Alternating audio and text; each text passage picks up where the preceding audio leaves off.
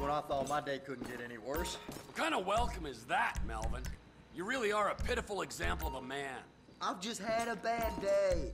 I don't need to be bullied by you right now. Why are you so miserable? I mean, it doesn't make for a dynamic store experience.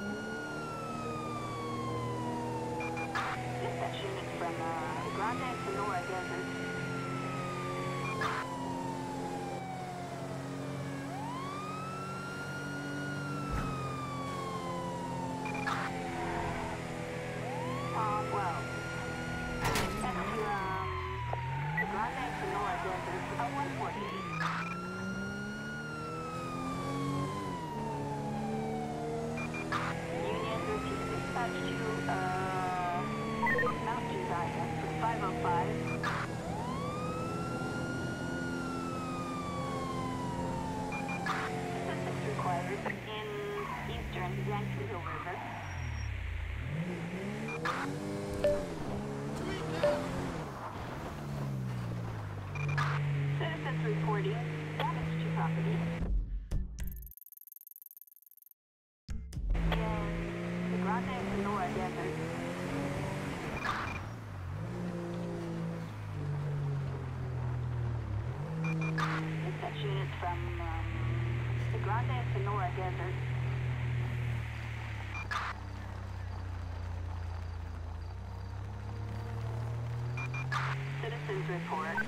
stabbing in uh, North Vinewood Hills. get us some food. No, you said that. I said I wasn't. I'm the one trapped hiding up here day and night. I ain't had nothing but potato chips. It's in a week. Let's do this the easy way. The hard way ends with you on my boot. Bounty hunter! Take him down!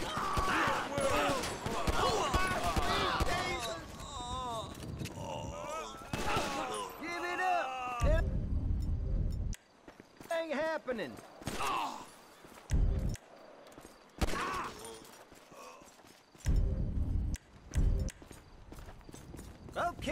Okay, okay, I give up. Ah, there's a good boy.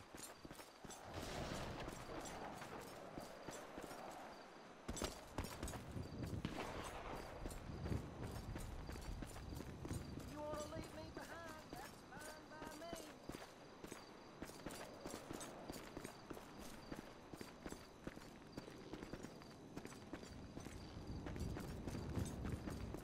Well, look who it is, my old friend.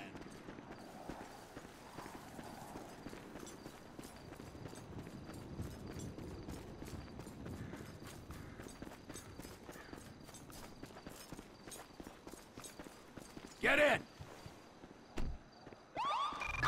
Victor 14. Dispatch to, um, the Grand Senora Desert, a 415.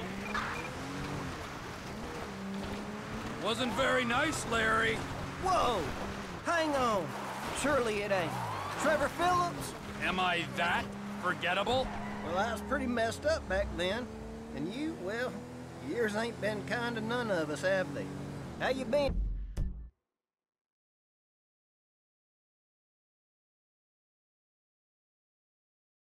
Oh, I can't complain. Yourself? You know, up and down. Look, sorry for that back there. Didn't know it was you. Hey, no harm done. Glad to hear it. Ha! Well, isn't this pleasant? Backup required north of the Hill Valley Church.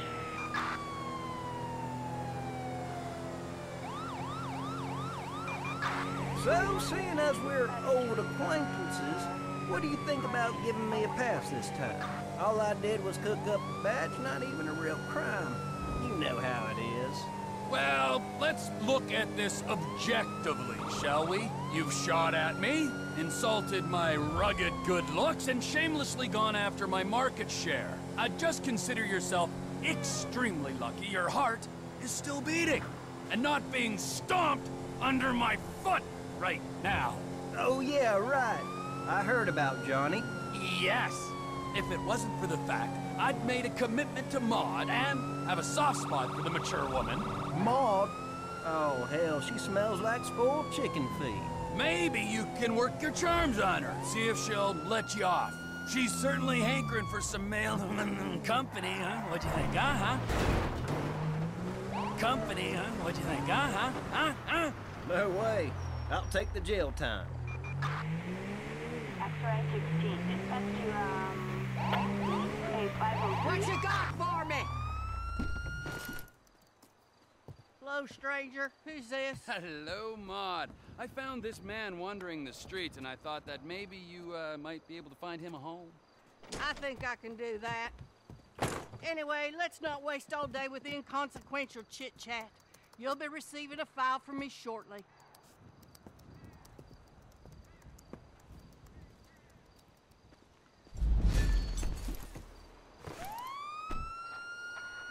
Dispatch units from Harmony.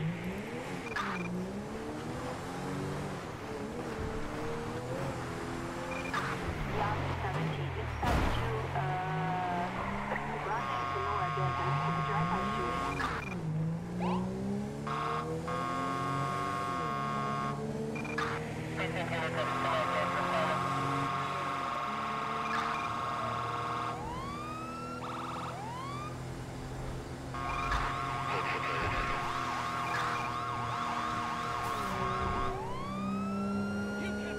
Assistance required north of, uh, Sandy Shore.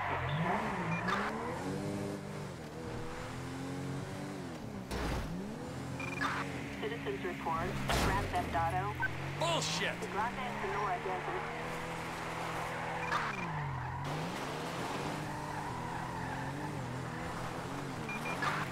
Backup